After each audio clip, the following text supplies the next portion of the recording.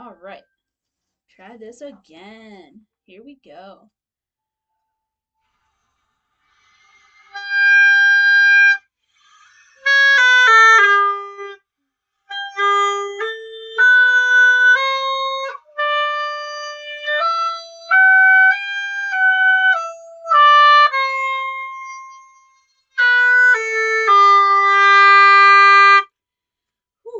That took me a lot of takes. That was the G major scale. This instrument kicks my butt, but I'm trying. Try to keep the fingers straight too, like you said. Let me know what you think of it. Thank you.